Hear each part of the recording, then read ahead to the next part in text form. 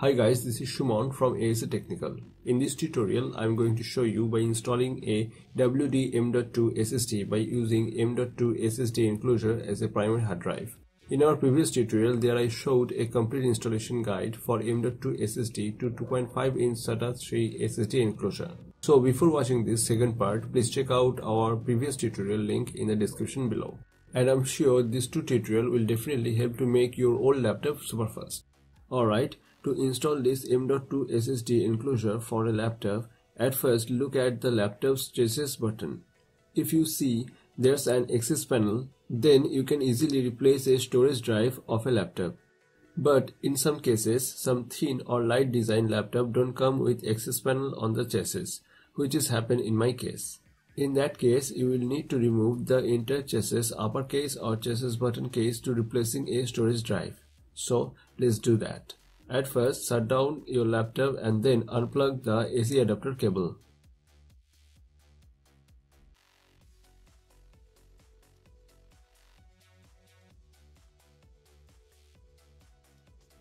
After that, remove the battery.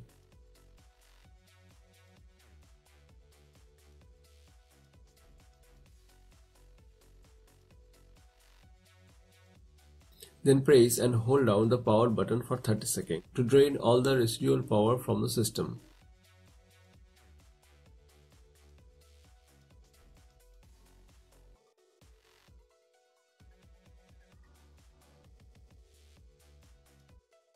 After that, unscrew all the Phillips head screws by using a Phillips head screwdriver from the button side of the laptop and remove the optical drive if needed.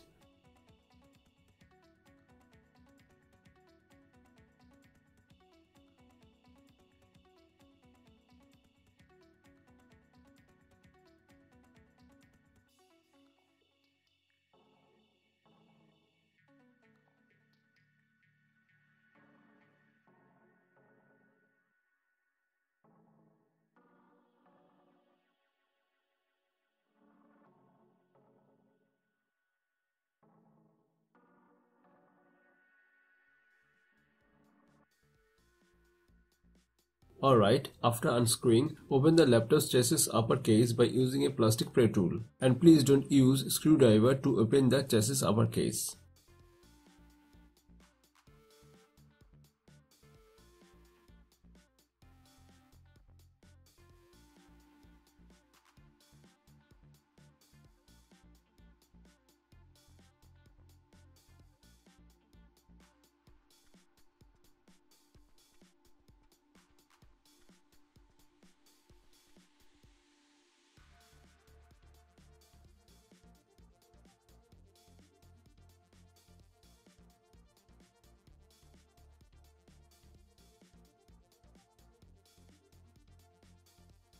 Now open the chassis upper case just very little and very gently disconnect all the connected cables including the keyboard and the touchpad cable.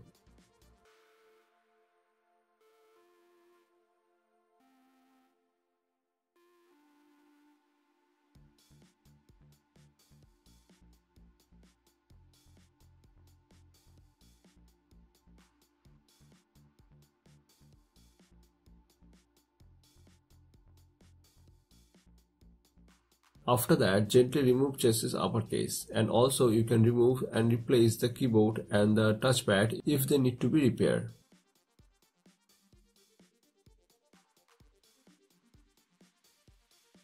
Okay, now I will remove the USB board's flat flex cable to replace the hard drive module.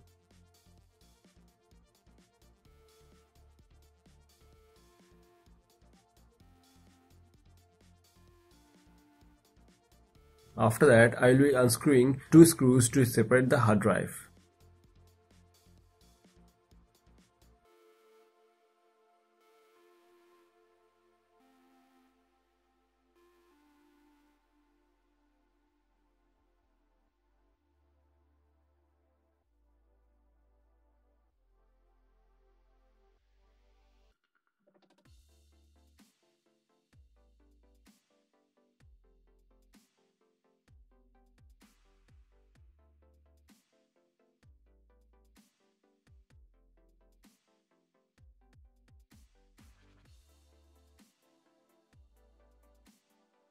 Okay, now I just separate the hard drive from hard drive bracket and I'll be adding an SATA M.2 SSD with an SATA 3 M.2 SSD enclosure instead of this hard drive.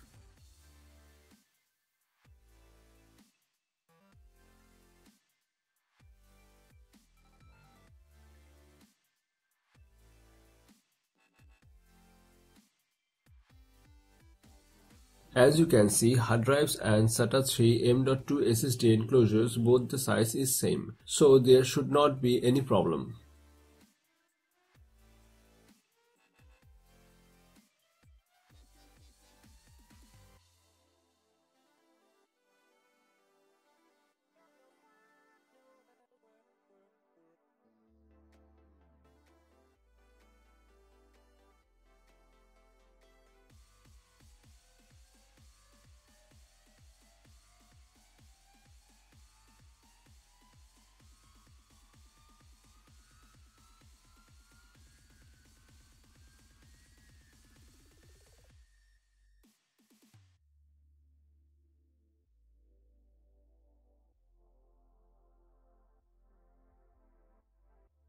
Alright, now I just insert and connect this drive.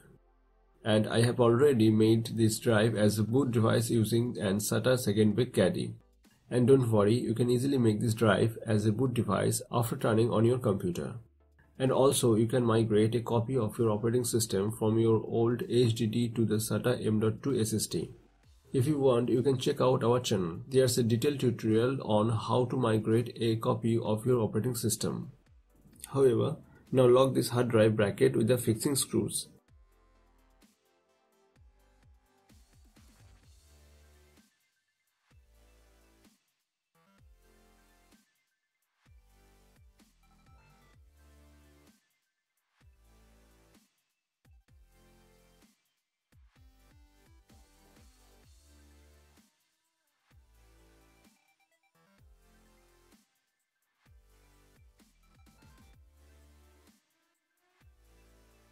Once done, next very gently place the chassis uppercase and reconnect all the cables that you have disconnected. And please do everything very gently.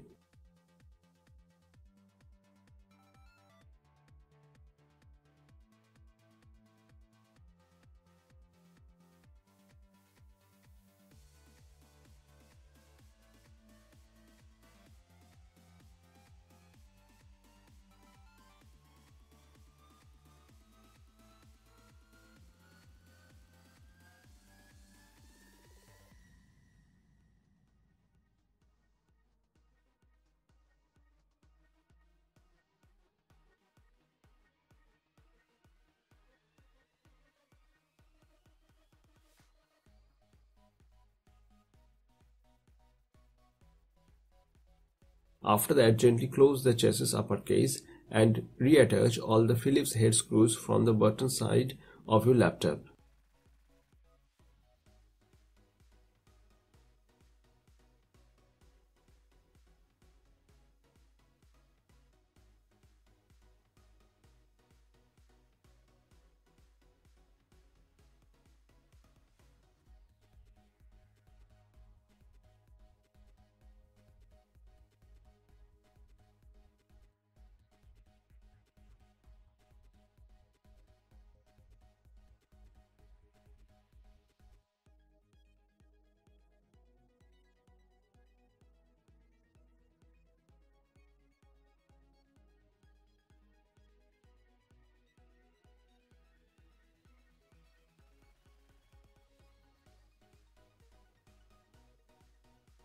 Once done, next reinstall the main battery and turn the laptop right side up.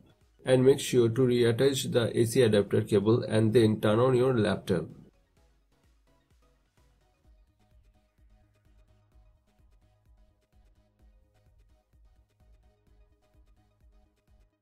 Now let's check how much faster this non-M.2 SR per E15 after installing an SATA M.2 SSD with an SATA 3 M.2 SSD enclosure. Okay, as you can clearly see, the boot was very fast. It took like 5 to 10 seconds for the user visuals to appear.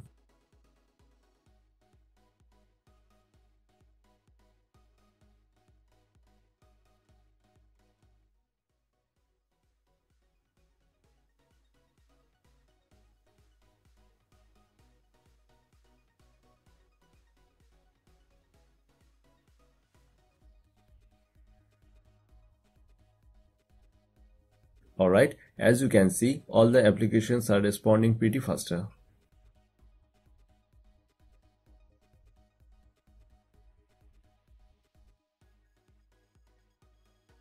Now let me show you the last BIOS time of this computer. Alright, the last BIOS time was 3.9 seconds. So what do you think? Let me know in the comment section. Hope you liked this video. If you have any questions then please let me know in the comment section. Please like, comment, share. We need your support. And guys, please don't forget to subscribe our channel. Thank you. Thanks for watching. Have a nice day.